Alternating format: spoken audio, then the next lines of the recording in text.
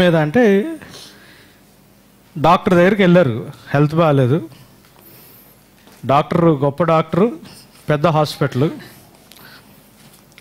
Doctor దగ్గరికి వెళ్ళి డాక్టర్ని కన్సల్ట్ అయిన తర్వాత ప్రాబ్లం ఏమైందంటే డాక్టర్ మాట విన్నోడికి జబ్బు తగ్గింది. డాక్టర్ మాట విన్నోడికి జబ్బు తగ్గలేదు. ఇది ఎందుకు దీని గురించి ఈ స్కిట్ని తీసుకురావడం జరిగింది అంటే యేసు ప్రభుని గురించి వింటాం యేసు ప్రభుని గురించి తెలుసుకోవడం చర్చ్ బాగుంది కదా మెసేజ్ బాగుంది కదా అని సంఘానికి రెగ్యులర్గా అటెండెన్స్ చేసుకోవడం వల్ల ఉపయోగం ఎంతవరకు అన్నది ఆలోచన. ఎందుకు అంటే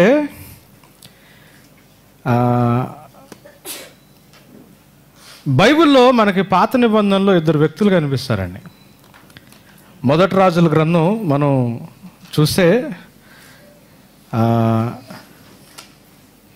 జెరోబువాము రెహోబువాం అని ఇద్దరు వ్యక్తులు కనిపిస్తారు. ఈ ఇద్దరు వ్యక్తులు జీవితాన్ని మనం ఆలోచిస్తే క్రైస్తవ జీవితాన్ని మనం ఒకసారి అంటే మన వ్యక్తిగత క్రైస్తవ జీవితాన్ని మనల్ని మనం పరిశీలించుకోవడానికి అది ఉపయోగపడుతుంది. ఇందాక మనం చూసిన స్కిట్ కాన్సెప్ట్ కూడా అదే. హాస్పిటల్ పెద్దదై ఉండొచ్చు డాక్టర్ గొప్పడై ఉండొచ్చు మంచి మందులే రాసి ఉండొచ్చు కానీ ఇచ్చిన చీటీ ప్రకారం మందులు వాడకపోతే డాక్టర్ చెప్పినట్లు వదిలేయమన్నవి వదిలేసి చేయమన్నవి చేయకపోతే డాక్టర్ గొప్పోడైనా హాస్పిటల్ గొప్పదైనా జబ్బు తగ్గదు. దేవుని గురించిన విషయం కూడా అదే క్రైస్తవ జీవితం కూడా అంతే. యేసు ప్రభు గొప్పడు క్రైస్తవ అంటే సంఘంలో వాక్యం మంచిదై ఉండొచ్చేవో కానీ విధేయత అన్నది దేవుని దగ్గర మనం నేర్చుకోకపోతే క్రైస్తవ జీవితానికి అర్థం లేదు అన్న విషయాన్ని మనం చూడటానికి ప్రయత్నం చేస్తున్నాం. జెరోబువాము రెహోబువాము అని ఇద్దరు వ్యక్తులు మనకు కనిపిస్తారు. మొదటి రాజుల గ్రంథం మనం చూస్తే ఈ కాంటెక్స్ట్ మనకు అక్కడ కనిపిస్తుంది. నాన్న లైట్స్ ఆన్ చేస్తారా? మెసేజ్లోకి వెళ్తున్నాం. మనకి మొదటి రాజుల గ్రంథం ఎనిమిదో అధ్యాయంలో సలోమోను రాజు మందిరాన్ని డెడికేట్ చేయడం మనకు కనిపిస్తుంది. ప్రతిష్ఠించడం కనిపిస్తుంది. ఎనిమిదో అధ్యాయం అయిపోయిన తర్వాత తొమ్మిదో అధ్యాయంలోకి వచ్చినప్పుడు దేవుడు సలోమోన్ రాజుకి కనిపిస్తాడు. సలోమోన్ రాజుతో మాట్లాడతాడు. సలోమోను అంటే అన్ని ఏరియాల్లో వృద్ధి చెందడం మనకు కనిపిస్తుంది. అంటే ప్రాస్పరిటీలోకి వెళ్ళడం మనకు కనిపిస్తూ ఉంటుంది. పదో అధ్యాయంలోకి వచ్చేటప్పటికి సలోమోను రాజు ఉన్న స్థితిని చూసి ఆయన గురించి తెలుసుకుని శివరాణి సలోమోన్ దగ్గరికి వచ్చి విన్నదానికంటే చాలా గొప్పగా ఉంది ఘనంగా ఉందని చెప్పి సలోమోన్ దగ్గరకు రావడం మనకి అక్కడ పదో అధ్యాయంలో కనిపిస్తుంది. పదో అధ్యాయంలో ఇంకేం కనిపిస్తుంది అంటే సలోమోను పేరు ప్రఖ్యాతలు కావచ్చు ధనంలో కావచ్చు జ్ఞానంలో కావచ్చు ఎదగటం మనకు కనిపిస్తూ ఉంటుంది. అయితే పదో అధ్యాయం దాకా అంత ఉన్నతంగా ఎదిగిన గ్రాఫ్ ఒక్కసారి పదకొండో అధ్యాయంలోకి వచ్చేటప్పుడు ఒక చిన్న ప్రాబ్లంలోకి వెళ్తాడు. ఏంటి అంటే దేవుడు మాట్లాడినా ప్రత్యక్షంగా కనిపించి మాట్లాడినా ఆయన దేవుని చిత్తానికి వ్యతిరేకంగా వివాహం చేసుకున్నాడు. ఎందుకు చేసుకున్నాడు అంటే ఆయన తండ్రి ఆయన దావీదు చేసిన యుద్ధాల వల్ల ఆయన చేతులు రక్తశక్తమైనవి కాబట్టి దేవుడు మందిరం ఆయన నిర్మాణం చేయొద్దన్నాడు. దావీదున్న సమయంలో యుద్ధాలు ఎక్కువ జరిగినాయి మనశ్శాంతి లేదనుకుని దేవుడు ఎవరితో పొత్తు పెట్టుకోవద్దన్నాడో అట్లాంటి వాళ్ళందరితో పొత్తు పెట్టుకుని ఆయన జీవితాన్ని సుఖమయంగా చేసుకోవడానికి ప్లాన్ చేశాడు. బైబిల్లో మనకు కనిపించే సత్యం ఏంటంటే సలోమోను వృద్ధుడైనప్పుడు అతని హృదయం అతని తండ్రి హృదయం వల్లే దేవుని ఎదుట యథార్థంగా లేదు అని సలో దావీదును బట్టి సలోమోను టైంలో దేవుడు ఎటువంటి యాక్షన్ తీసుకోలేదు కానీ సలోమోను చనిపోయిన తర్వాత సలోమోను జీవితం మీద వచ్చిన శాపం ఇజ్రాయెల్ దేశాన్ని రెండు ముక్కలు చేసింది అని మనం సండే మెసేజెస్లో చాలాసార్లు నేర్చుకున్నాం. అయితే మనకు అక్కడ కనిపించిన విషయం ఏంటి అంటే పదకొండో అధ్యాయంలో పద్నాలుగో వచనం నుంచి ఇరవై ఐదో వచనం దాకా వచ్చినప్పటికీ దేవుడే సలోమానికి వ్యతిరేకంగా శత్రువుల్ని లేపాడు అన్న మాట మనకు బైబిల్లో కనిపిస్తుంది. మూడు వేలకు పైగా సామెతలు రాసిన వ్యక్తి దేవుడుని రెండుసార్లు ప్రత్యేకంగా ప్రత్యక్షంగా చూసిన వ్యక్తి ప్రపంచంలో అందరికంటే ఎక్కువగా ఆశీర్వదించబడిన వ్యక్తి ఎక్కువగా స్థిరపడిన వ్యక్తి జ్ఞానం కలిగిన వ్యక్తి ఆ వ్యక్తికి వ్యతిరేకంగానే దేవుడంట శత్రువుల్ని లేవనెత్తాడు అని మనకు బైబిల్లో కనిపిస్తుంది. ఈ పదకొండో అధ్యాయం నుంచి మనం కొంచెం ముందుకు వెళ్తే ఇరవై ఆరో వచనం ఇరవై ఎనిమిదో వచనం ఒకసారి చదువుదామండి. మొదటి రాజుల గ్రంథం పదకొండో అధ్యాయము. మొదటి రాజుల గ్రంథం పదకొండో అధ్యాయము. ఇరవై ఆరు ఇరవై ఏడు.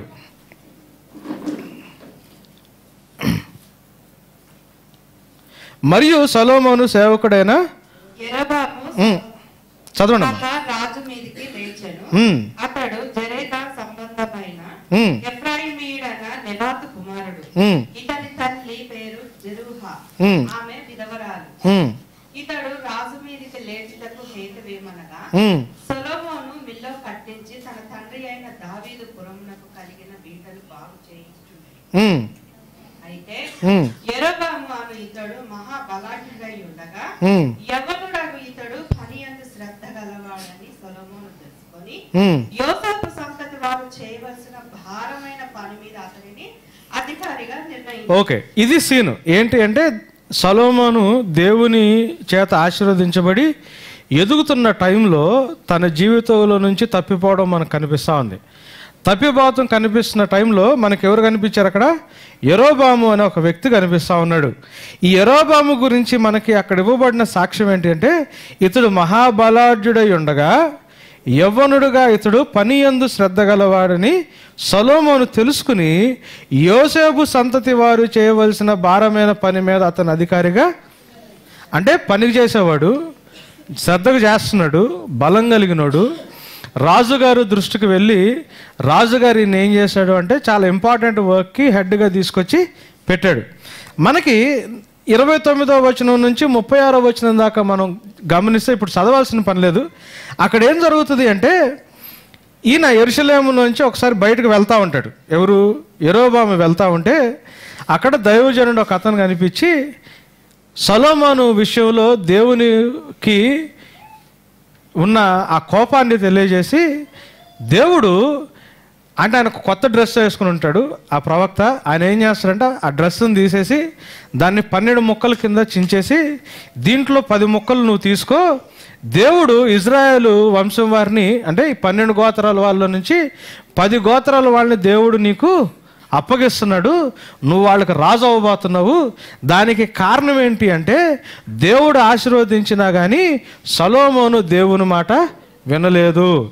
వాళ్ళ తండ్రిలాగా ఉంటే నేను నీతో ఉంటానని దేవుడు చెప్పినా కానీ వాళ్ళ తండ్రిని అడుగుజాడల్లో సలోమో నడవలేదు. కాబట్టి దావీదుకి మీద దావీదుతో చేసుకున్న నిబంధన బట్టి దావీదుతో తనకున్న సంబంధాన్ని బట్టి సలోమాన్ని దేవుడు ఏం చేయట్లేదు కానీ సలోమాను చనిపోయిన తర్వాత పది మ- పది గోత్రాలకి దేవుడు నిన్ను రాజుగా చేయబోతున్నాడు అని ఈ యెరోబాముకి ఆ ప్రవక్త చెప్తాడు.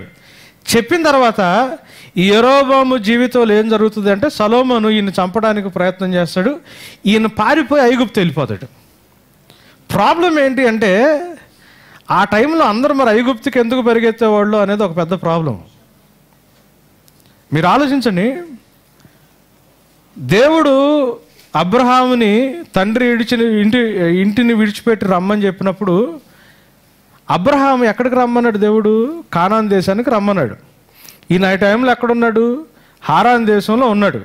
హారాను కూడా నది పక్కన ఉన్న దేశం సమృద్ధి కలిగిన దేశం అక్కడ నుంచి దేవుడు ఎక్కడికి రమ్మన్నాడు అంటే ఎడారి దేశంలోకి రమ్మన్నాడు.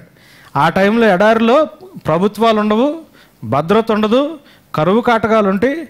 కానీ అక్కడికి రమ్మని పిలిచింది ఎవరు? దేవుడే. అంటే దేవుని పిలుపులోనే అక్కడ పరిస్థితులు మన ఉద్దేశానికి విరుద్ధంగా ఉంటాయి.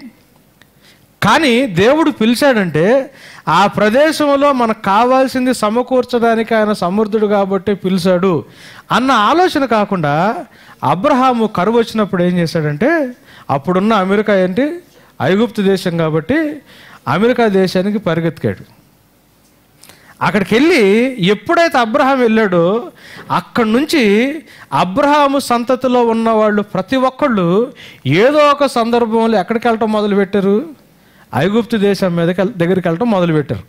వీళ్ళు ఏం మర్చిపోతున్నారు? పిలిచిన దేవుణ్ణి మర్చిపోతున్నారు నిబంధన చేసిన దేవుణ్ణి మర్చిపోతున్నారు. దేవుడు ఆయన యహోవా ఈరే అని చూసుకునే దేవుడని దేవుడిని గురించి ఆలోచన లేకుండా వీళ్ళు ఏం చేస్తున్నారు అంటే లోకంలో ఉన్నత స్థాయిలో ఉన్న ఐగుప్తు దేశం మీద ఆధారపడటం మొదలుపెట్టారు. ఈయన ఐగుప్తు దాకా వెళ్ళేంతవరకు ఎరోబాము గురించి మనకు తెలిసిన సత్యం ఏంటంటే ఈయన పని శ్రద్ధగా చేసేవాడు బలంగా చేసేవాడు దేవుని యొక్క ఏర్పాట్లో అయినా ఉన్నోడు దేవుడి చేత పిలువబడినోడు. అంటే ఆయన కొన్ని క్వాలిటీస్ అక్కడ మనకు కనిపిస్తున్నాయి. అబ్రహాం కూడా అట్లానే వెళ్ళాడు. అక్కడికి వెళ్ళి ఎవరిని తీసుకుని వచ్చాడు? హారాన్ని తీసుకొచ్చాడు. తీసుకొచ్చి ఏం చేశాడు? అక్కడున్న సాంప్రదాయం ప్రకారం కొడుకుని అన్నాడు ఆ కొడుకును వదిలిపెట్టరా బాబు అంటే ఆడుగోడు నాకు పుట్టినాడే కదా దీవించు దీవించు అని అడిగాడు. దేవుడు ఏం చేశాడు? ఇస్మాయిల్ని దీవించాడు. ఇప్పటికి డబ్బులన్నీ ప్రపంచంలో ఎవరి దగ్గర ఉన్నాయి? వాళ్ళ దగ్గరే ఉన్నాయి. టెర్రరిజం అంతా మెయింటైన్ చేస్తుంది ఎవరు? వాళ్ళే. అంటే ప్రపంచంలో అరాచకానికి కారణం ఏంటంటే నీతిమంతుడు ప్రార్థన అనేది మనం గుర్తుపెట్టుకోవాలి. నీతిమంతుడు ప్రార్థన చేసినంత మాత్రాన కరెక్ట్గానే ప్రార్థన చేస్తాడా అన్నది కరెక్ట్ కాదు కానీ మనం దేవుని చిత్తానుసారంగా అడుగుతున్నామా లేదనేది మనం గుర్తుపెట్టుకోవాలి. ఈయన కూడా వెళ్ళాడు. ఎక్కడికి వెళ్ళాడు? ఐగుప్తు దేశానికి వెళ్ళిపోయాడు. ఐగుప్తు దేశానికి వెళ్ళిపోయిన తర్వాత కొన్ని రోజులకి సొలోమోను చనిపోయాడు. సలోమోను చచ్చిపోయిన తర్వాత మనకి సలోమోను యొక్క కొడుకు గురించి మనకు కనిపిస్తుంది. మొదటి రాజుల గ్రంథం పన్నెండో అధ్యాయంలో కనిపిస్తుంది. నాలుగో వచనం నుంచి చదవడమా నీ తండ్రి బరువైన కాడిని ఓకే ఓకే. ఇవి ఈయన ఈయన రాజు చేయడానికి ఇజ్రాయెల్ జనాలందరూ ఏం చేస్తారంటే ఈ రెహోమావు దగ్గరికి వెళ్తారు. వెళ్ళి ఏం చేస్తారంటే నాలుగో వచనం నుంచి చదవండి. నీ తండ్రి బరువైన కాడిని మా మీద ఉంచెను. నీ తండ్రి నియమించిన కఠినమైన దాస్యమును మా మీద అతడు ఉంచిన బరువైన కాడిని. నీవు చులకన చేసిన ఎడల మేము నీకు సేవ చేయదు అని రహోబాము దగ్గరికి ఇజ్రాయెల్ జనాలందరూ వెళ్ళారు. ఒకళ్ళేమో ఎరోబాము ఈయన పరిస్థితి మనం చూసాం. ఈయన ఒక వ్యక్తి. రెండో వ్యక్తి ఎవరు? రెహోబాము. ఈయన ఎవరు అంటే సొలోమోను రాజు యొక్క కొడుకు. ఈ కొడుకు దగ్గరికి ఇజ్రాయెల్ జనాంగం అంతా వెళ్ళారు. వెళ్ళి బాబు మీ నాన్న మా మీద బాగా ట్యాక్స్లు వేసాడు మమ్మల్ని బాగా వెట్టి చాకరీ చేయించుకున్నాడు. ఆయన ఉన్నంత కాలం మేము శ్రమ పడ్డామే కానీ మాకు సుఖం లేదు. అంత కాడి నువ్వు మా మీద వేయకుండా ఉంటే అంత భారం నువ్వు మా మీద వేయకుండా ఉంటే మేము మీకు సేవ చేసుకుంటాము. అని చెప్పి రెహబాము దగ్గరికి వెళ్ళి వీళ్ళు ఒక అర్జీ పెట్టుకున్నారు. అర్జీ పెట్టుకుంటే ఆయన ఏమన్నాడంటే మూడు రోజుల తర్వాత కనిపించండి ఇప్పుడు నన్ను డిస్టర్బ్ చేయొద్దు అన్నాడు. సరే వీళ్ళు వెళ్ళిపోయారు. వెళ్ళిపోయిన టైంలో సలోమోను చనిపోయాడని తెలిసి మళ్ళీ ఎరోబాము మళ్ళీ ఎక్కడికి వచ్చాడు? వెనక్కి ఇజ్రాయేలీల దగ్గరికి వస్తే ఈ ఎరోబామును కూడా తీసుకుని వెళ్ళి మళ్ళీ ఇంకొకసారి అడుగుతారు ఆయన్ని. ఎవరిని? సలోమోను కొడుకుని. ఏమని? మీ తండ్రి మా మీద ట్యాక్స్లు ఎక్కువ వేశాడు మా మీద భారం ఎక్కువ పెట్టాడు మాతో చాకరీ చేయించుకున్నాడు అంత కాడైతే మేము భరించలేము మీరు కాడి తగ్గించమంటే అక్కడ ఈయన చేసిన గొప్ప పని ఏంటంటే రెహోబాములో అక్కడ ఒక మంచి లక్షణం కనిపించింది. ఆయన తండ్రి దగ్గర పనిచేసిన పెద్దలను పిలిపించాడు ఆయన. పిలిపించి ఏం చేశాడు అంటే వీళ్ళు ఇట్లా అంటున్నారు ఏం చేయాలి అని సలహా అడిగాడు. అంటే సొంత తెలుగు ఉపయోగించలా. ముందేం చేశాడు? సలహా అడిగారు. సలహా అడిగినప్పుడు వాళ్ళందరూ ఏం చెప్పారంటే బాబు వాళ్ళు చెప్పేది నిజమే. నేను మీకున్న శ్రమల్ని కన్సిడర్ చేస్తానని నువ్వు చెప్పు వాళ్ళు నీ మాట వింటారు అని వాళ్ళు ఒక సలహా ఇచ్చారు. సలహా ఇస్తే ఇది ఆయనకు నచ్చలా. నచ్చకుండా ఏం చేశాడు అంటే ఈయనతో పాటు పెరిగిన వాళ్ళని యవనస్తులందరినీ పిలిచాడు. నేను మీకు టైం కాబట్టి నేను ఇదంతా చదవకుండా నేను మీకు స్టోరీ చెప్తున్నా. అవసరమైన వచనాలు మాత్రమే చదువుతున్నాం. యవనస్తుని పిలిచాడు వీళ్ళతో పాటు పెరిగిన వాళ్ళని. పిలిచి ఏం చేద్దాము? వీళ్ళందరూ ఇట్లా అంటున్నారు అంటే వాళ్ళు ఏమన్నారంటే బలేవాడివే నీ చేతిలో నుంచి పవర్ పోతే చాలా కష్టం అవుద్ది. నా చిటికిన వేలు మా నాన్న అడుగు కంటే లావుగా ఉంటుందని చెప్పు అన్నాడు. అంటే అర్థం ఏంటంటే మా నాన్న నడువు ఎంత బరువు ఉంటుంది నా చిటికి నేలు అంత బరువు ఉంటుంది. అంటే నేను ఇంకా ఎక్కువ భారం మీ మీద వేస్తాను. నేను ఇంకా ఎక్కువ వెట్టి చాకరి మీతో చేయించుకుంటాను అని చెప్పేశాడు. చెప్పమన్నాడు ఈయన ఆ సలహా తీసుకుని చెప్పాడు. చెప్పగానే ఇజ్రాయిలీలందరూ ఏం చేశారంటే అసలు నువ్వు మాకు రాజు ఏంది మేము మీకు సేవకులు ఏంటని చెప్పి వీళ్ళు ఆయన వదిలిపెట్టి వచ్చి ఎరోబాముని రాజుగా ఎన్నుకున్నారు. అక్కడ ఏమైపోయింది? యోధా గోత్రం మీదేమో రెహోబాం ఉన్నాడు. మిగతా పది గోత్రాల మీదేమో ఎరోబాం రాజుగా ఉన్నాడు. లేవీయులకు ఎటువంటి ఛాన్స్ లేదు. లేవీయులు ఎటు తిరిగి? మందిరంలోనే ఉండాలా. మనం గుర్తుపెట్టుకోవాల్సింది ఏంటంటే యేసు ప్రభు రక్తం చేత కొనబడిన ప్రతి ఒక్కడు యాజకుడే. మనకి ఎటువంటి ఛాన్సులు ఉండవు. మనం దేవుని సేవ తప్పితే వేరే చేయడానికి వాక్యానుసారంగా వీలు లేదు. మన ఇష్టానుసారంగా మనం చేసుకోవచ్చేవో కానీ వాక్యానుసారంగా వీల్లేదు. మీరు అందుకే బైబిల్లో లేవీల గురించి అసలు ఏం మాట్లాడరు. పది గోత్రాలు యోధా గోత్రం అంటాడు. మరి లేవీల సంగతి లేవీలకి ఎటువంటి ఛాన్స్ లేదు. వాళ్ళు తిండి వాళ్ళు సంపాదించుకోవడానికి లేదు. పదవ భాగంలో తినాల్సిందే. నిత్యము మందిరంలో సేవ చేస్తుండాల్సిందే. జీవితం అంతా దేవునికి అర్పించాల్సిందే. యాజకుడు యాజకుడికి ఉండాల్సిన లక్షణం అదే. అయితే అక్కడ ఏం జరిగింది అంటే ఈ రెహోబాం ఏం చేశాడంటే అసలు రాజు నేను కదా వారసుడు నేను కదా అని యరోబాము మీదకి యుద్ధానికి పంపిస్తే ఎవరినైతే పంపించాడో వాళ్ళు రాళ్ళు తీసుకుని కొట్టి చంపేస్తారు. చంపేస్తే రెహోబాం ఏం చేస్తాడంటే దేవుడి దగ్గర కూర్చుని ప్రార్థన చేస్తాడు. ప్రార్థన చేసినప్పుడు మనకి బైబిల్లో కనిపించే సత్యం ఏంటి అంటే పద్దెనిమిదవ వచనం నుంచి చదువుదాం. మొదటి రాజుల గ్రంథం. అధికారి ఇజ్రాయేల్ వారందరూ రాళ్ళతో అతని కొట్టినందున అతడు మరణమాయెను ఉమ్, కాబట్టి రాజైన రెహబాము ఎరుసలేమునకు పారిపోవలనని. తన రథము మీద త్వరగా ఎక్కాను. ఈ ప్రకారము ఇజ్రాయేల్ వారు నేటి వరకు జరుగుతున్నట్లు దావీదు సంతతి వారి మీద తిరుగుబాటు చేసిరి. ఉమ్, మరియు ఎరోబాము ఉమ్, తిరిగి వచ్చునని ఇజ్రాయేల్ వారందరి మీద కూడి ఉమ్, అతని పిలువనంపించి ఇజ్రాయేల్ వారందరి మీద రాజుగా అతనికి పట్టాభిషేకము ఉమ్, యూదా గోత్రికులు తప్ప దావీదు సంతతి వారిని వెంబడించిన వారెవరు లేకపోయింది ఉమ్, రెహబాము ఎరుసలేమునకు వచ్చిన తర్వాత ఇజ్రాయేలు వారితో యుద్ధము చేసి రాజును సొలొమోను కుమారుడైన రెహబాము అను తనకు. మరలా వచ్చినట్లు చేయుటక యూదా వాళ్ళందరిలో నుండి బెన్యామీన్ గోత్రికులలో నుండి. యుద్ధ ప్రవీణులైన లక్ష ఎనభై వేల మందిని పోగు చేశారు లక్ష ఎనభై వాళ్ళని పోగు చేసుకున్నాడు. అయితే అక్కడ ఏం జరిగింది? దేవుని వాక్కు దైవజనుడైన ఉమ్, షమయాకు ప్రత్యక్షమై ఇలాగూ సెలవిచ్చాను. నీవు సొలొమోను కుమారుడగు యూదా రాజునైన రెహబాముతో యూదా వారందరితోనూ బెన్యామిని అందరితోనూ శేషించిన వారందరితోనూ ఇట్లనము. యెహోవా సెలవిచ్చినదేమనగా జరిగినది నా వలననే జరిగెను. మీరు ఇజ్రాయేలు వారగు మీ సహోదరులతో యుద్ధము చేయుటకు వెళ్ళక అందరును మీ మీ ఇండ్లకు తిరిగిపోవుడి. కాబట్టి వారు యెహోవా మాటకు లోబడి వారు దానిని బట్టి యుద్ధమునకు పోక నిలిచింది ఇది ఏం జరిగింది? దైవజనుడు వచ్చి చెప్పాడు. ఏమని చెప్పాడు? బాబు ఇది దేవుడే చేశాడు. మీ సహోదరుల మీదకి యుద్ధానికి వెళ్ళొద్దు అని చెప్తే రెహోబాముతో పాటు మిగతా వాళ్ళందరూ దేవుని మాటకి విధేయత చూపించి ఎవరింటికి వాళ్ళు వెళ్ళిపోయారు. ఇక్కడ ఇద్దరు వ్యక్తులు ఎరోబాము రెహోబాము. ఎరోబాము సెలక్షన్ ఏ కాన్సెప్ట్లో జరిగిందో మనకు అర్థమైంది. ఆయనకి ఎటువంటి క్యారెక్టర్ ఉందో అర్థమైంది. ఈయన రాజు అయ్యాడు రెహోబాము వాళ్ళ నాన్న చేసిన పని వల్ల ఆయన ప్రాబ్లంలో పడి కానీ సలహా తీసుకుని సలహా అడగే మంచి లక్షణం కలిగి దేవుడు వద్దని చెప్పినప్పుడు దేవుని మాటకి విధేయత చూపించడానికి ప్రయత్నం చేసినాడు. వీళ్ళిద్దరూ మొదలు రాజులుగా బాగానే స్టార్ట్ అయింది. అటు ఇజ్రాయెల్ రాజు కావచ్చు ఇటు యోధా దేశానికి రాజు కావచ్చు వీళ్ళిద్దరూ మొదలు బాగానే స్టార్ట్ అయింది. ఈయన దగ్గరికేమో దేవుని వాక్యం వచ్చి నేను నిన్ను రాజుగా పెడుతున్నాను అని ఎరువాముకి దేవుడే చెప్పించాడు. ఈ ఇంతవరకే నేను నీకు అప్పగిస్తున్నాను అని చెప్పినప్పుడు దేవుడు రెహబామ మాట విన్నాడు.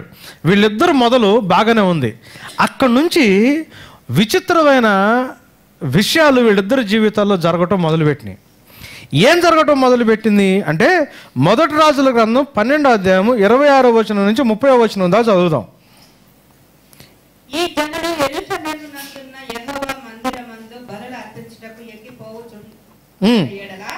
ఈ జనుల హృదయము యూదారాజైన రెహబాము అను తమ యజమానుని తట్టు తిరుగును. అప్పుడు వారు నన్ను చంపి యూదారాజైన రెహబాము వద్ద మరలా చేరుదురు. రాజ్యము మరల దావీదు సంతతి వారిదగును అని ఉమ్, యెరొబాము తన హృదయం అందు తలంచి.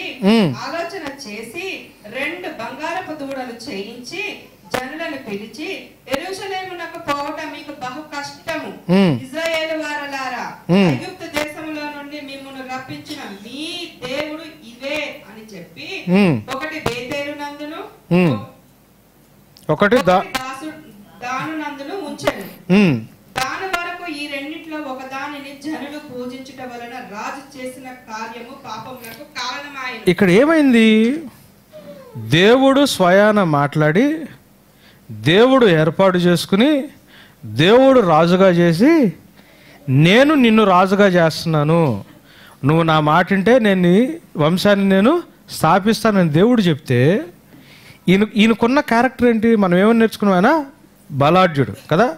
బహు బలము కలిగిన వాడు ఆయనకున్న పొజిషన్ని చూసి సలోమాని ఆయన తీసుకెళ్ళి యజమానిగా పెట్టాడు. కానీ ఎప్పుడైతే దే దేవుడిచ్చిన రాజ్యం చేతికి వచ్చిందో ఈయన ఆలోచించే విధానంలో మార్పు వచ్చింది దేవుడు రాజ్యం ఇవ్వకముందేమో బలాన్ని ప్రదర్శించగలిగాడు. దేవుడు రాజ్యం ఇచ్చిన తర్వాత పిరికివాడిగా మారిపోయాడు. పిరికివాడిగా మారిపోయి రాజ్యాన్ని ఇచ్చింది దేవుడు స్థాపిస్తానంది దేవుడు స్థిరపరుస్తానంది దేవుడు. వీళ్ళు ఒకవేళ అక్కడికి వెళ్ళిపోయి మళ్ళీ పాతరాజు దగ్గరికే వెళ్ళిపోతారేమోనని నిజ దేవుణ్ణి కాక తప్పుడు దేవుళ్ళని వీళ్ళే నిజమైన దేవుడు అని వాళ్ళ మీద ఆధారపడేటట్టు తన ప్రజల్ని తిప్పేశాడు. ఇది ప్రాబ్లము. నిజమైన దేవుణ్ణి కాక ఈ ఈ ఈ దోళ్ళు ఎక్కడి నుంచి వచ్చినాయి? ఐగుప్తు దేశం వెళ్ళాడుగా. ఐగుప్తు దేశం వెళ్ళిన వాళ్ళందరికీ ఏదో ఒకటి వచ్చు దనక ఐగుప్తు దేశం వెళ్ళి దూడల గురించి తెచ్చుకున్నాడు. ఆ ఐగుప్తు నుంచి దేశం నుంచి బయటకు వచ్చినప్పుడు వీళ్ళు కూడా దూడలు చేసింది బంగారపు దూడల్ని. చేసి ఈయన చేసింది ఏంటి అంటే అప్పుడు దాకున్న స్వాభావికమైన క్యారెక్టర్ని దాన్ని వదిలేసి పిరికివాడైపోయి దేవుడిచ్చిన దాన్ని దేవుడే స్థిరపరుస్తాడు కదా అని ధైర్యంతో ముందుకు వెళ్ళకుండా అది ఎక్కడ చేయి జారిపోద్దా అని సొంత ఆలోచనతో ఆయన ఏం చేశాడంటే ఐగుప్తులో నేర్చుకున్నది ఆ దూడల్ని రెండింటిని చేసి వీళ్ళు ఏమని చెప్పాడు పైగా? మీరు ఎరుసలేమి వెళ్ళారన్నారు ఎక్కడ పెట్టించాడు? ఒకటి బేతేల్లో ఒకటి దానిలో. బేతేలు అంటే అర్థం ఏంటి? దేవుని ఇల్లు. బేతేలు అంటే హౌస్ ఆఫ్ గాడ్ అని దేవుని ఇల్లు. అక్కడ ఒక దూడను పెట్టించాడు. అంటే మీకు కొంచెం ఈజీగా అర్థమయ్యేటట్టు చెప్పాలంటే మనం ఇక్కడ ఉన్నాము బేతేలు ఎరుసలేమికి చాలా దగ్గరలో ఉంటుంది. అంటే దగ్గర దగ్గర అమీర్పేట అనుకుందాం. దాని అనేది ఎక్కడ ఉంటుంది? ఉత్తర దేశంలో అంటే ఈసీఐలు అవతల ఎక్కడ? కేసర్ దగ్గర ఉంటుంది. కేసర్ దగ్గరికి వెళ్ళి ఆరాధన చేస్తున్నారు కానీ పక్కనే ఉండే ఎరుసలేమి దగ్గరికి కష్టము నువ్వు వెళ్ళలేవు. పక్క నుండి ఎరుసలేమికి వెళ్ళలేవు అని ఒక విగ్రహాన్నేమో పక్కనే ఉన్న బేతేల్లో ఇంకో విగ్రహాన్ని ఉత్తర దే రా- ఎక్కడ ప్రదేశంలో ఉన్న దానిలో తీసుకెళ్ళి పెడితే ప్రజలందరూ బేతేలికి దాని దగ్గరికి వెళ్ళి ఆరాధించడం మొదలుపెట్టారు. ఇది ఒక గ్రూపు. మనల్ని మనం బాగు చేసుకోలేక నరకానికి మాత్రమే పాత్రులైన మనల్ని ఆయనకి వ్యతిరేకంగా పాపం చేసిన మనల్ని దేనికి పనికిరాని మనల్ని? అదే కదా క్రైస్తవుల యొక్క పిలుపు ఏంటి? మీ పిలుపుని మీ ఏర్పాటును ఒకసారి సరిచూసుకోమని పౌలు గారు మొదటి కొరింది ఒకటి ఇరవై ఆరులో రాశాడు. మనలో గొప్ప వంశులైనను గనులైనను జ్ఞానవంతుల్ని దేవుడు సెలెక్ట్ చేయలా. మన వంశం గొప్పది కాదు మనకు జ్ఞానం లేదు మనం గనులమి కాదు. లోకంలో ఉన్న జ్ఞానుల్ని సిగ్గుపరచడానికి వెర్రివారిని బలవంతుల్ని సిగ్గుపరచడానికి బలహీనుల్ని నీచుల్ని తృణీకరించబడిన వారిని ఎన్నిక లేని వాళ్ళని దేవుడు సెలెక్ట్ చేసుకున్నాడని బైబిల్లో ఉంది. ఇది ఉంది కదా మాట? సో మన సెలక్షన్ గొప్ప సెలక్షన్ కాదు. దేవుడు సెలెక్ట్ చేసుకుని మన విశ్వాసానికి కర్త దాన్ని కొనసాగించేవాడిని నేనే. మిమ్మల్ని చీకట్లో నుంచి ఆశ్చర్యకరమైన వెలుగులోకి నేను తీసుకొచ్చాను. కాబట్టి నా గుణాతిశయాల్ని మీరు ప్రకటించండి. నేను మిమ్మల్ని రాజులైన యాజక సమూహంగా చేసుకున్నాను అని దేవుడు చెప్తే నేను నీతో నిబంధన చేసుకున్నాను నీకు భర్తను నేను పోషించుకునే బాధ్యత నాది ఇంట్లో పని నీది అని మనకి చెప్తే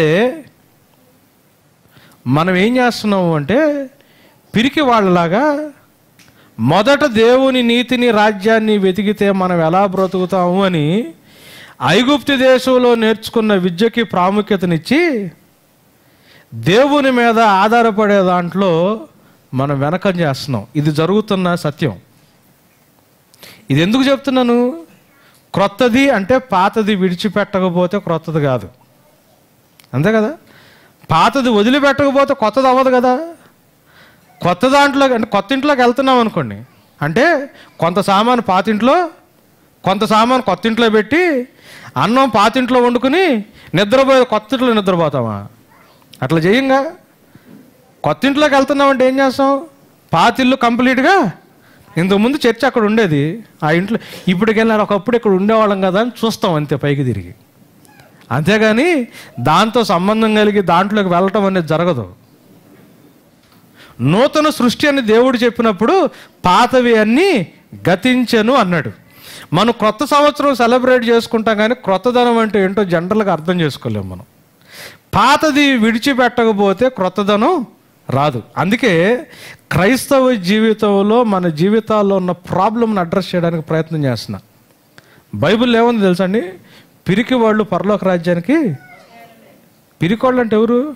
రోడ్ల మీద వెళ్ళి గొడవ చేయలేనోళ్ళ? లేదా రోడ్డు మీద ఉండడం తిట్టలేనోళ్ళ? ఏ రకంగా పిరికోడు? ఏ రకంగా పిరుకోడు? హారాను దేశంలో నుంచి ఊరు దేశంలో నుంచి దేవుని మాట విని ఎడారి ప్రాంతంలోకి వచ్చి కరువు వచ్చినప్పుడు కాటకాలు వచ్చినప్పుడు దేవుని మీద ఆధారపడక ఐగుప్తికి పారిపోవడం పెరిగిదనం. చీకట్లో నుంచి ఆశ్చర్యకరమైన వెలుగులోకి పిలిచిన దేవుని యొక్క గుణాతిశయాల్ని ప్రకటించాల్సిన మనం మొదట ఆయన నీతిని ఆయన రాజ్యాన్ని వెతికితే మనకు కావాల్సిన సమకూర్చుకునే పని అయింది. మనం అన్యుల్లాగా వాటి వెనకాల్సి పోవాల్సిన పని లేదు. మనం దేవుని కోసం ఆధారపడితే దేవుని మీద ఆధారపడితే మన పని దేవుడు చూస్తాడు అని ధైర్యం లేక ఆలోచించండి. రొట్టె వల్ల మాత్రమే కాదు దేవుడు నోటి వెంట వచ్చే మాట మాత్రం బాబు సండే స్కూల్కి పంపి అని అడగాల. రొట్టె కోసం మాత్రం ఎల్కేజీకే డెబ్బై వేలు ఎనభై వేలు డబ్బులు కట్టి చేర్పిస్తాం. ఎందుకు చేర్పిస్తాం? ప్రోగ్రెస్ కార్డులో మార్కులు రాకపోతే ఏడుస్తాం. సండే స్కూల్కి రాకపోతే మాత్రం పెద్దగా పట్టించుకోం. మనకు భయం ఏంటంటే ఎక్కడ చదువు రాకపోతే ఈడెక్కడ నేర్చుకోకపోతే లోకంలో ఈడు ఎట్ట బతుకుతాడు అని. పిరిగితనం క్రైస్తవ కుటుంబాలకి క్రైస్తవ జీవితాలకి క్రైస్తవేతర కుటుంబాలకి క్రైస్తవేతరులకి ఉండాల్సిన వ్యత్యాసం ఈరోజు కనిపించలా వాళ్ళు చెట్టునో పుట్టనో పట్టుకుని రాయనో రప్పనో పట్టుకుని మొక్కుతారు దండం పెట్టుకుంటారు. మనకి ఆయన దేవుళ్ళు కాదు నిజమైన దేవుడు తెలుసు కాబట్టి మనం యేసుప్రభు వైపు తిరిగి దండం పెట్టుకుంటాం. అంతకు తప్పితే మనకి క్రైస్తవేతరులకి ఎటువంటి తేడా లేదు ప్రా- ఏం లేదు. నూతన సృష్టిగా కనిపించాలి కదా. అరే వీళ్ళు పెక్యులియర్ అని ఉంటుంది ఇంగ్లీష్లో. వీళ్ళు వింతకున్నారే లోకమంతా ఒక పోకడైతే లోకమంతా ఒక రకంగా బతుకుతుంటే వీళ్ళు లోకంలో బ్రతికినట్టు బ్రతకట్లేదు వీళ్ళు బ్రతుకు వేరుకుంది ఏంటి? పెక్యులర్గా ఉన్నారండి వింతకున్నారు ఏంటి? అని క్రైస్తవుల వైపు చూడగలిగే క్రైస్తవ కుటుంబాలు ఎన్నున్నాయి? మీరు ఆలోచించండి. దేవుడు ఏర్పాటు చేసుకున్న రాజు. దేవుడే ఇచ్చిన రాజ్యం. నేను స్థాపిస్తాను నిన్ను అని దేవుడు చేసిన వాగ్దానం. దీన్ని బేస్ చేసుకుని జీవితాన్ని స్టార్ట్ అయ్యి ప్రవక్త చేత అభిషేకించబడి దేవుని మాట చేత స్టార్ట్ అయిన జీవితం ఆ రాజ్యం ఎక్కడికి వెళ్ళిపోయింది?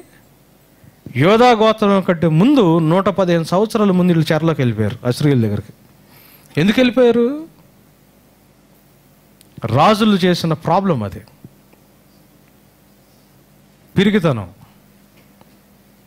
లోక పద్ధతుల్ని వదిలిపెడితే ఏమవుద్దని పిరికితనం. లోక విధానాల్ని ఫాలో అవ్వకపోతే ఏమవుద్దని పిరికితనం. లోకం ఈ పద్ధతులు వెళ్తుంది కదా మన కుటుంబం ఆ పద్ధతిలో లేకపోతే ఏమవుద్ది అని భయం. సమాజం ఏమనుకుంటుంది జనాలు ఏమనుకుంటారని పిరిగితనం వీళ్ళు మరలా ఎరుసలేమికి వెళ్తే ఆ రాజు దగ్గరికి వెళ్ళిపోతారేమో అని భయం వేసింది. ఒరే అక్కడి నుంచి దీనిని తీసుకొచ్చి నా దగ్గర పెట్టింది దేవుడే కదా. నా రాజ్యాన్ని స్థాపిస్తానని చెప్పింది దేవుడే కదా. స్వతహాగా రాజయ్యే అవకాశం కానీ హక్కు కానీ అధికారం కానీ నాకు లేదు కదా. లేకపోయినా నన్ను దేవుడు రాజుగా చేశాడు కదా. నేను కంగారు పట్టం ఎందుకు? నా రాజ్యాన్ని కూడా ఆయనే స్థిరపరుస్తాడు. నేను ఆయన మాటింటే సరిపోద్ది అని ఎరోబామికి ఆలోచన లేదు. చేతిలోకి వచ్చింది ఎక్కడ జారి దేవుడిచ్చిన బిడ్డ బ్రదర్ చాలా రోజుల తర్వాత ప్రార్థన చేస్తే పుట్టాడు. కాన్సన్ట్రేషన్ అంతా దేవుడి మీద నుంచి దేవుడిచ్చిన గిఫ్ట్ మీదకి వచ్చేసింది. అందుకే దేవుడు ఏమన్నాడంటే అబ్రహాము నేను ముఖ్యమా? నేను ఇచ్చిన గిఫ్ట్ ముఖ్యమా? అన్నాడు. అబ్రహాం ఏం చేశాడు? బలిపీఠం మీద పెట్టి కత్తెత్తి నువ్వే ముఖ్యం ప్రభు అన్నాడు. దేవుడు ఏమన్నాడంటే నీ నీతి రైట్ అన్నాడు. నువ్వు నీతిమంతుడు యు ఆర్ రైట్ అన్నాడు. దేవుడు ఇచ్చిన వరమే కావచ్చు దేవుడిచ్చిన అవకాశమే కావచ్చు. దేవుడి కంటే ఎక్కువైపోయి దేవుడిచ్చింది కోల్పోతావనే భయం మనలోకి వస్తే అది పిరికితనం. పిరికితనం అది. పిరికోళ్ళకి పర్ తాగుబోతాళ్ళకి లేదు వ్యభిచారులకు లేదు. ఆ విషయంలో జాగ్రత్త పడతాం. పిరికోళ్ళు అంటే ఎవరు? పిరికోళ్ళకి కూడా లేదు. తాగుబోతోడిని వ్యభిచారిని నరహత్య చేసినోడిని పిరికోడిని అందరిని ఒకే లైన్లో పెట్టేశాడు దేవుడు తీసుకొచ్చి. వ్యభిచారం చేయకపోవచ్చు. పిరిగితనం ఉంటే ప్రాబ్లమ్. మనం పనిచేసే ఆఫీసెస్ కావచ్చు మన చుట్టుపక్కల కావచ్చు క్రైస్తవులుగా చెప్పుకోవడానికి క్రైస్తవులను ఉండటానికి కూడా మన సాక్ష్యం మనం చెప్పుకోవడానికి కూడా భయపడే పరిస్థితులు. మనకు ఎందుకు వచ్చిన గోళ మనకు ఎందుకు వచ్చిన బాధ? మన పని మనం చేసుకుంటూ వెళ్దాం అని ప్రార్థన మాత్రం చేస్తారు. ప్రభా నువ్వు ఇచ్చిందే అంటారు. ఎరోబాముకు కూడా ఎవరు ఇచ్చారు దేవుడే ఇచ్చాడు. ఈయన ఒక బ్యాచ్. రెండో బ్యాచ్ ఇంకెవరు రహబాము. ఈయన పరిస్థితి ఏంటి? యుద్ధానికి వెళ్తానంటే దేవుడు వద్దన్నాడు ఆగిపోయాడు. అంటే ఈయన అనుకున్న చేయాలనుకున్న దానికి దేవుడు పర్మిషన్ ఇలా ఎప్పుడైతే దేవుడు అనుకున్న దానికి ఇవ్వలేదో మిగతా దాంట్లో కూడా ట్రై చేయడం మానేశాడు. మీరు చూడండి. పద్నాలుగు అధ్యాయం చూడండి మొదటి రాజుల గ్రంథం. మొదటి రాజుల గ్రంథం పద్నాలుగు అధ్యాయం. ఇరవై ఐదు నుంచి ఇరవై ఎనిమిది దాకా చూడండి.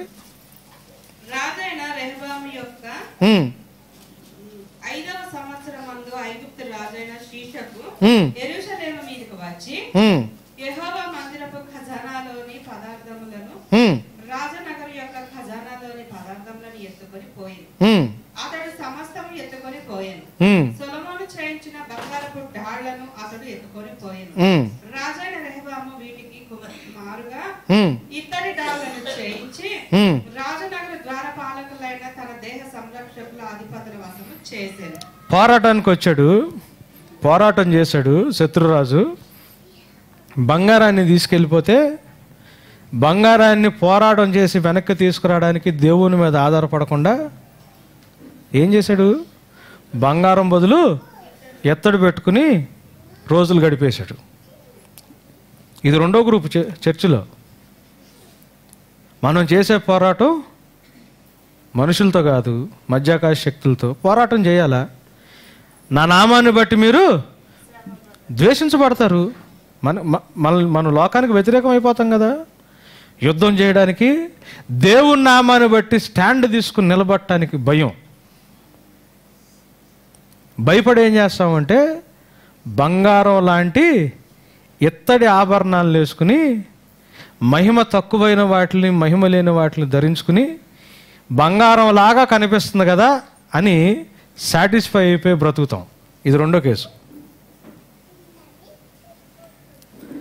మీరు గమనించండి యురోబాము రెహోబాము వీళ్ళిద్దరూ ఒక ఆయనేమో దేవుడి మాటకు విధేయత చూపించాడు సలహా అడిగే అలవాటు కలిగినోడు ఇంకొక ఆయనేమో దేవుని చేత ఏర్పాటు చేయబడి రాజుగా స్థిర చేయబడినోడు వీళ్ళిద్దరు మొదలు బాగానే ఉన్నాయి. ఇద్దరికి మంచి క్యారెక్టర్లు కనిపిస్తాయి.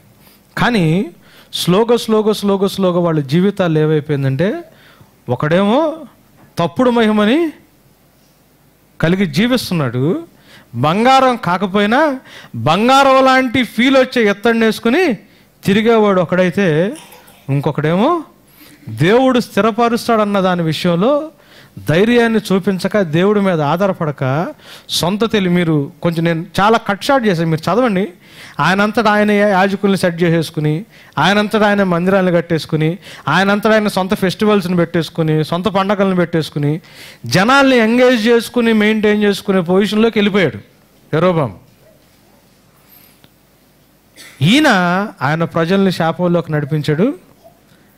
రెహోబాము ఆయన కింద ఉన్న వాళ్ళని శాపంలోకి నడిపించాడు. ఇది క్రైస్తవత్వంలో ప్రస్తుతం ఉన్న ప్రాబ్లము. క్రైస్తవులమి అని పేరు. బైబుల్ చదువుతున్నామని పేరు. ప్రార్థన చేస్తున్నామని పేరు. ఇత్తడ లాంటి మహిమ బంగారవ లాంటి మహిమ కనిపించలే క్రైస్తవత్వంలో. బంగారవ లాంటి మహిమ కనిపిస్తే మనం సింహాల బోన్లో ఉన్న అన్యుడైన రాజు ఉపవాసం ఉండి సజీవుడైన దేవుని కుమారుడైన దానియేలు సేవకుడైన దానియేలు అని పిలిచినట్టు మన జీవితంలో నిజమైన మహిమను చూస్తే అన్యజనులు క్రైస్తవుల్ని ఎందుకు పిలవరు? మీరు ఆలోచించండి. అమెరికా లాంటి దేశంలో అసలు దేవుడు లేడు అనేది కాన్సెప్ట్ వాళ్ళకి. కానీ భారతదేశంలో దేవుడు ఉన్నాడు అని పాపభీతి కలిగి అక్కడెక్కడో ఫేక్ వెలుగు కనిపిస్తుందని చెప్పినా చలికాలం చెప్పులు లేకుండా తలస్నానం చేసి కాళ్ళనడకలో శబరిమల వెళ్ళి పాపాన్ని కడిగేసుకోవాలని పాపభీతి కలిగిన దేశం ఇది. భారతదేశంలో విగ్రహారాధన ఉండొచ్చేమో కానీ దేవుణ్ణి తిరస్కరించరు తెలియదేమో వాళ్ళకి. సత్యదేవుడు తెలియకపోవచ్చు కానీ దేవుడు పాపభీతి కనిపి ఉన్- వాళ్ళకుంది. వెలుగుగా మనం కనిపిస్తే నిజమైన బంగారం లాంటి మహిమ క్రైస్తవ కుటుంబంలో కనిపిస్తే నిజమైన వెలుగు కనిపిస్తే ఎక్కడికో దూరాలు ఎందుకు వెళ్తారు? వెళ్ళాల్సిన అవసరం ఎక్కడొచ్చింది? ప్రాబ్లం ఏంటి అంటే కాంప్రమైజ్డ్ క్రిస్టియన్ లైఫ్స్ బ్రతికేస్తున్నాం. ఎందుకు వచ్చింది ఈ ప్రాబ్లము?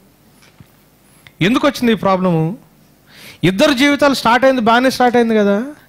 మరి ఇటువంటి పరిస్థితుల్లోకి వీళ్ళు ఎందుకు వెళ్ళిపోయారు? అనేది మనం చూస్తే యేసు ప్రభు చేసిన ప్రార్థన మనం గమనిద్దాం. యోహాన్ సువార్త పదిహేడో అధ్యాయం. యేసు ప్రభు మినిస్ట్రీ ముగిచ్చేసుకుని తండ్రికి ఫైనల్ రిపోర్ట్ ఇస్తా ఉన్నాడు. ఇంకా ఆయన తర్వాత సిలువెక్కుతాడు చనిపోతాడు తండ్రికి ఫైనల్ రిపోర్ట్ ఇస్తా ఉన్నాడు. యోహాన్ సువార్త పదిహేడో అధ్యాయము ఆరు నుంచి ఎనిమిది దాకా ఒకసారి చదవండి అమ్మా.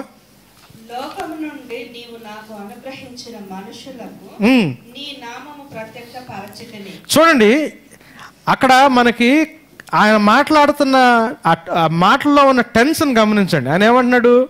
నీవు నాకు అనుగ్రహించిన మనుషులకు నీ నామాన్ని ప్రత్యక్షపరిచాను. అంటే ఏసయ్య తన నామాన్ని ప్రజలకు ఏం చేశాడు ఆల్రెడీ? ప్రత్యక్షపరిచాడా?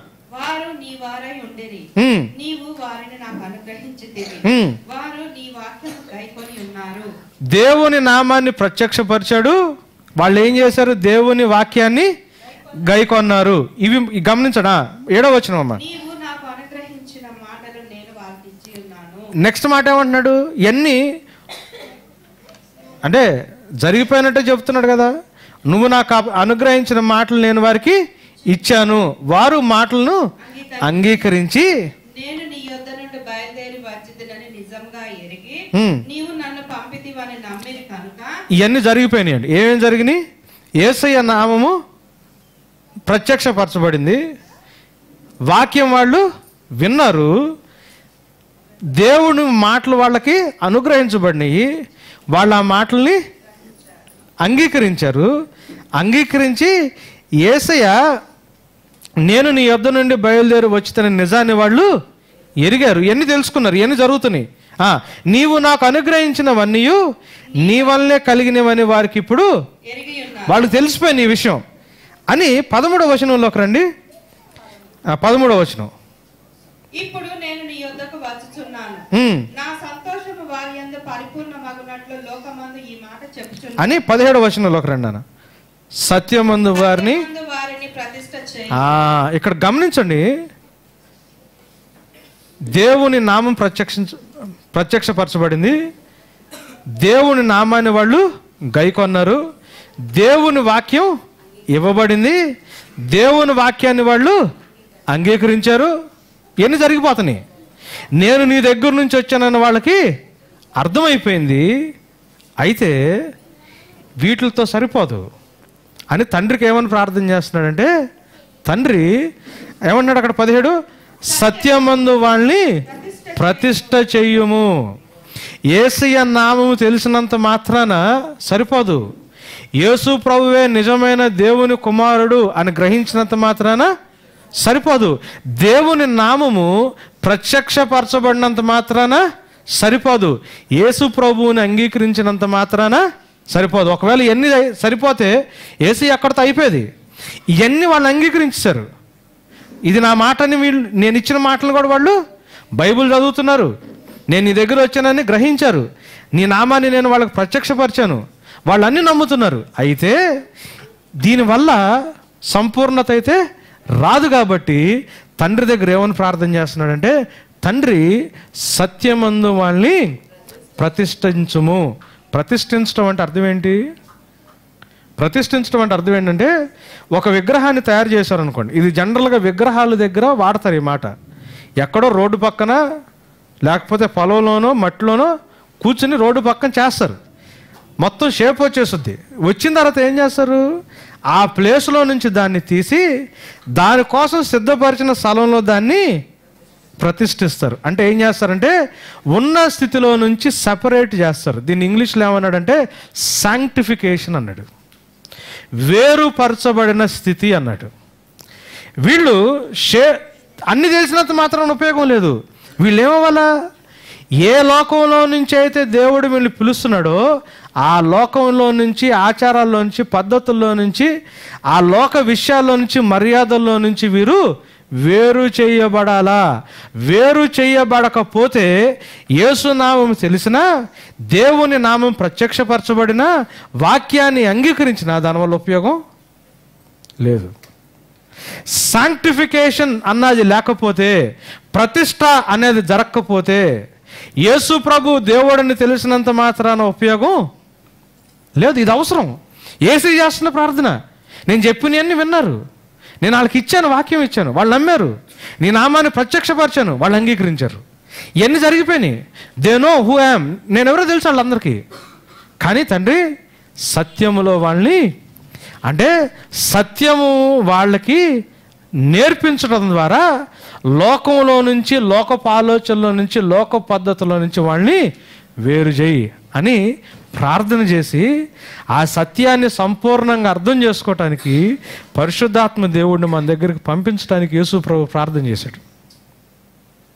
యోహాను పద్నాలుగు పదిహేనులు అన్నాడు కదా నేను తండ్రిని వేడుకుంటాను. కదా ఆయన వచ్చి ఏం చేస్తాడు? పదహారు పది యోహాన్ పద పదహారు పదేళ్ళు సర్వసత్యములోకి మిమ్మల్ని నడిపిస్తాడు. మీరు గమనించండి ఏసయ్య దేవుడు అని తెలిసి మీరు నమ్మినంత మాత్రాన ఎటువంటి ఉపయోగం లేదు.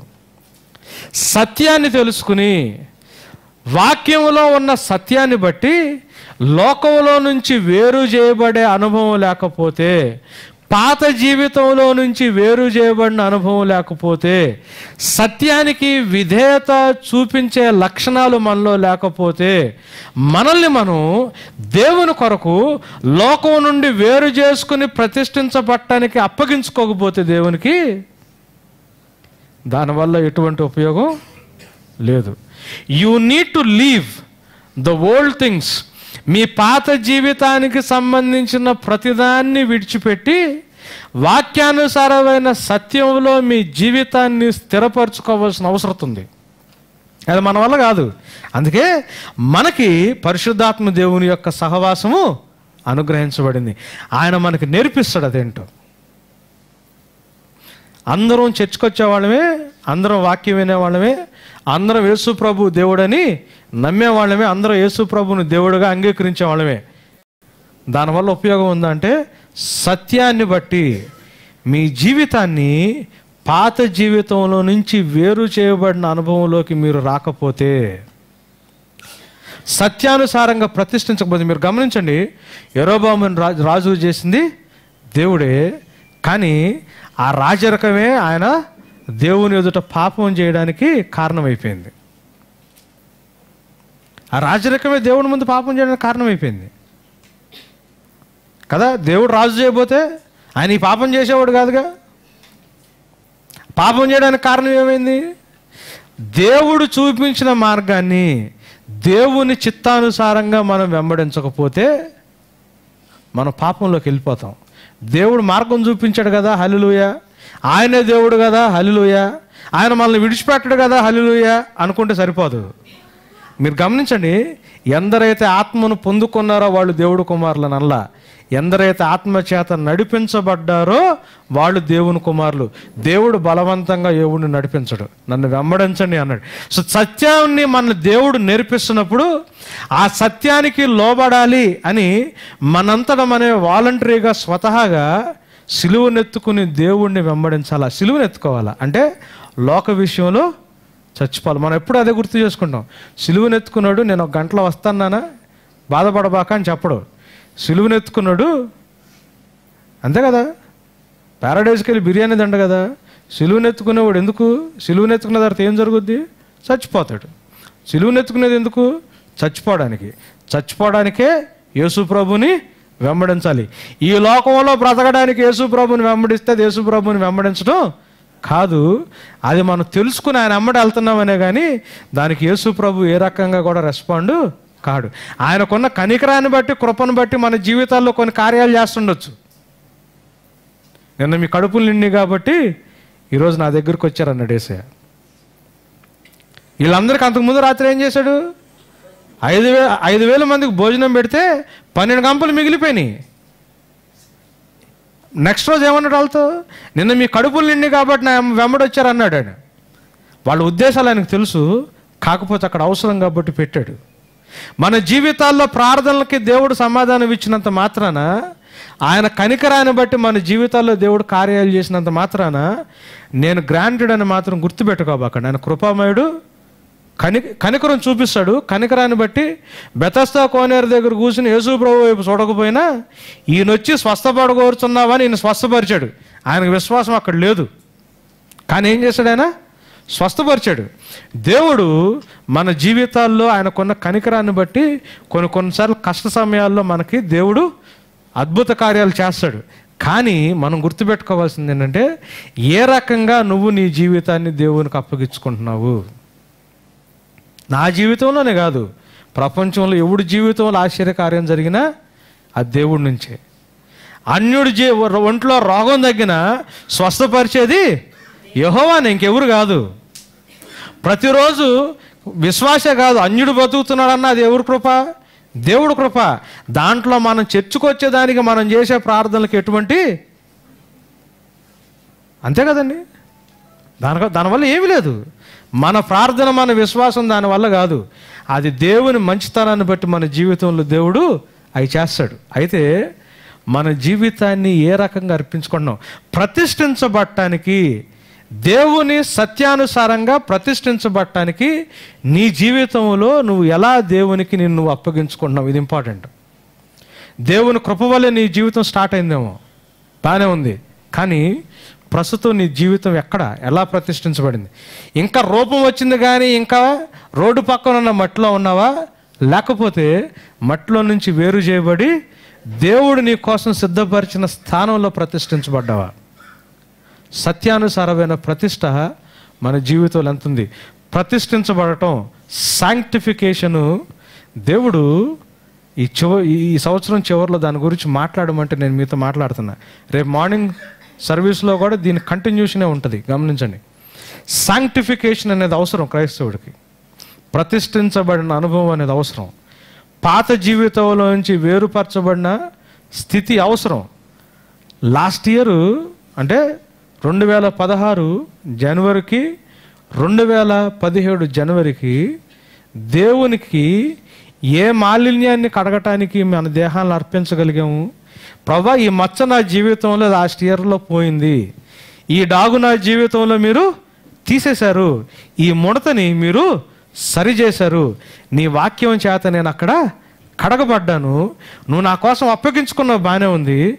నేను ఈ ఏరియాలో నీ కోసం అప్పగించుకున్నాను అని మనం ధైర్యంగా దేవుని ముందు మన జీవితంలో మారిన సన్నివేశం ఒకటి చెప్పగలమా చెప్పగలిగితే మనం ధన్యం. అన్నిట్లో మారలేకపోవచ్చు. టైం పడుతుంది దానికి. అన్నిట్లో మారలేకపోవచ్చు. మార్పు అంతా ఒకేసారి రాకపోవచ్చు. స్లోగానే మారచ్చు. కానీ పాత జీవితానికి సంబంధించింది ఏదన్నా విడిచిపెట్టగలిగామా? విడిచిపెట్టకుండా రెండు వేల పదహారు కట్లనే ఉన్నాం రెండు వేల పదిహేడుకి ఎట్లానే ఉన్నాం కానీ హ్యాపీ న్యూ ఇయర్ అంటే మాత్రం క్రొత్తది అన్నదానికి అర్థం ఉండదు. ప్రతిష్ఠించుకోవడం దేవుడు నన్ను రాజుగా చేశాడు ఆయన కోసం నన్ను నేను ప్రతిష్ఠించుకోవాలి అని ఎరోబాము ఆలోచించినట్టయితే